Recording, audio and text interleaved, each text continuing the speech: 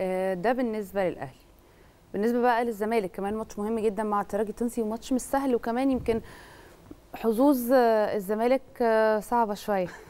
هو زي ما قلنا على الزمالك حن... زي ما قلنا على الأهلي هنقول على الزمالك اخدم نفسك بنفسك لأن الزمالك بيعيش فترة صعبة للغاية سواء في بطولة الدوري أو في بطولة أفريقيا. الزمالك مباراتين أحرز نقطة واحدة رايح للترجي نتائج نتيجة مباراة الأمس المريخ وشباب بلوزداد في مصلحة الزمالك بشكل كبير جدا إن الفريق شباب بلوزداد اللي هو فاز على الزمالك اتغلب مباراتين. ولكن الزمالك برضو اختم نفسك بنفسك لابد أن يخرج من هذه المباراة بنتيجة إيجابية لأن بعد مباراة الترجي هيبقى في ثلاث مباريات للزمالك. في القاهرة آه متبقيين منهم اتنين في القاهرة وواحدة بره القاهرة.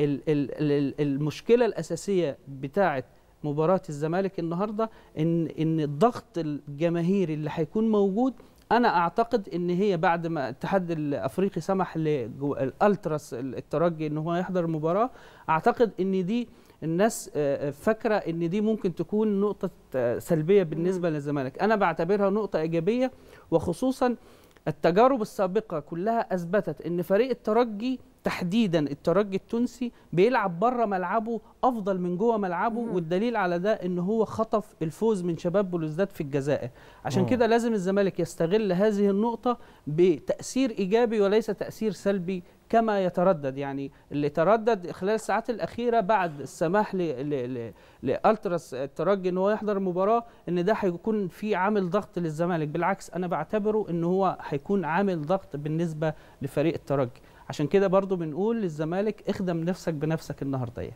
وهي دايما الفرق الكبيرة المفروض تتعود إن هي بتلعب في ضغط. جماهير مش جماهير أرض مش أرض وأنا بلعب في ضغط. 11 لاعب قدام 11 لاعب مهما كانت الجماهير موجودة. ده أعتقد إنه مع الفرق الكبيرة ما بقاش يفرق قوي أو ما بقاش يأثر بشكل. وخصوصا إن الزمالك فيه مجموعة خبرات. يعني أنت لما تيجي تشوف اللعيبة الدوليين في الزمالك 11 لاعب اللعيبة الدوليين في الترجي 10 لعيبة آه، متوسط أعمار فريق الزمالك مقارب لمتوسط أعمار فريق الترجي. ال- الفرق هنا الفرق الوحيد إن الترجي هيدخل بمعنويات إن هو متصدر بست نقاط. الزمالك هيدخل بمعنويات إن هو دي تعتبر البداية. عشان كده جماهير الزمالك عملت هاشتاج ليومين شغال. نعتبر البداية من رادس يعني بيحاولوا. بقدر الإمكان إن هم يحفزوا اللعيبة.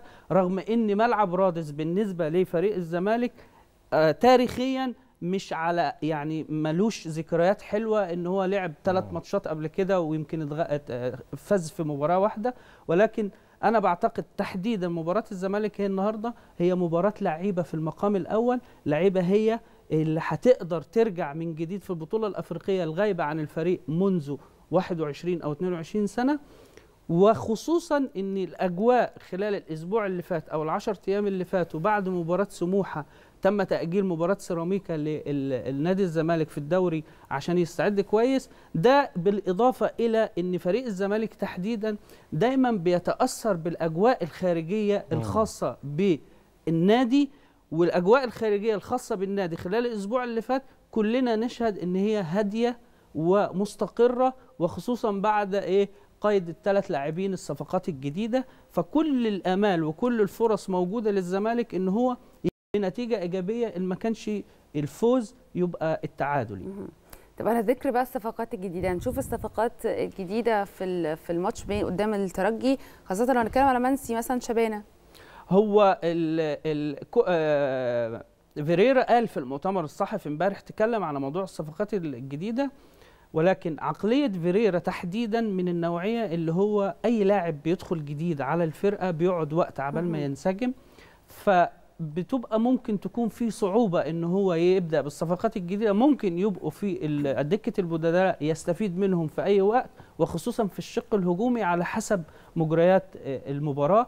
على ما أعتقد إن هو هيحافظ على التشكيلة الأساسية اللي لعب فيها اللي لعب بها مباراة المريخ إن لم يكن هناك تغيير أو تغييرين على الأقل في تأمين خط الوسط أنا أعتقد إن فيريرا النهارده هيركز قوي إن هو يمتلك منتصف الملعب لأن فريق الترجي في وسط الملعب تحديدا فريق آه، يعتبر شرس جدا. ولما بيمتلك نص الملعب بيبقى آه، بيسبب خطورة كبيرة جدا على مرمى المنافس يعني. طيب إحنا هنتكلم دلوقتي بالتفصيل طبعا عن ال- التشكيل المتوقع لكن شايف فيريرا بعد عودته اللي هي الأخيرة يعني بعد طبعا كل الفرق في العالم كله بتتعثر طبعا. أي فريق ممكن يتعثر في أي دوري من الدوريات الكبرى. لكن في النهاية عودة هذا الفريق بتفرق وبيكون عامل أساسي في عودة هذا الفريق هو الاستقرار وإن المدير الفني الموجود لو ما اتغيرش يتدارك اخطاء وفريرا عمل أرقام كويسة جدا مع نادي الزمالك خلال الموسمين اللي فاتوا. بعد قرار بتاع مجلس الإدارة الأخير بإقالة فيريرا وبعدين عودته تاني يوم هل أنت شايف إن هو هو فيريرا اللي كان موجود؟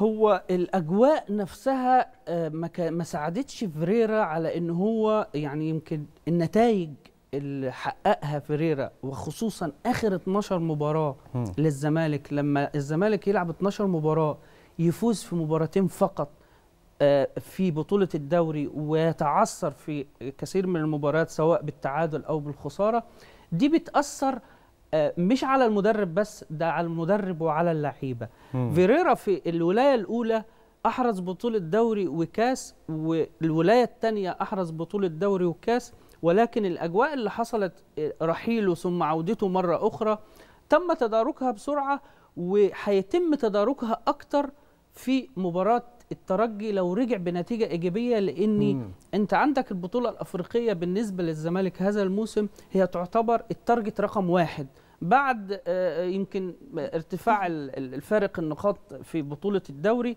رغم إن بطولة الدوري رقميا لسه طبعا طبعاً. مشوار طويل ولكن فيريرا قدامه فرصة كبيرة قدام يعني لسه ما خلصش اللي عنده يعني لسه ما خلصش آه. اللي عنده وأتمنى أنا واحد من الناس مثلا أتمنى إن فيريرا الحالة اللي عاشها مع جمهور الزمالك آه، آه، يمكن تأثرت شوية خلال ال 15 يوم اللي فاتوا ممكن هو يحاول بقدر الإمكان يرجعها من جديد ومش هيرجعها من جديد إلا من خلال النتائج وخصوصا بطولة أفريقيا